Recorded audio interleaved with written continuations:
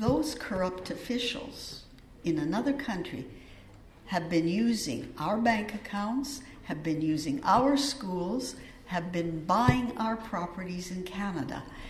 But today, with mobility, these people commit these acts in another country against human rights uh, defenders.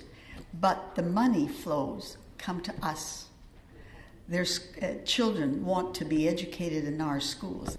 They want to come here. They want our system.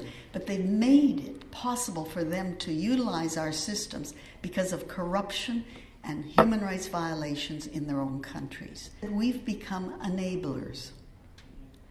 And if we are enablers, is the difference between a regime that allows it to happen on their soil so much different from us allowing them to be, you know, get the proceeds here.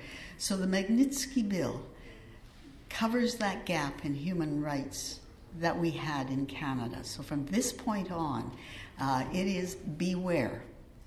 Beware in your own country because of the international order, but beware that you not think you can come to Canada because you will be uh, found out. And we're not going to be cavalier about just naming people and suspicions. We're going to do what a rule of law country does. We're going to prove case by case by case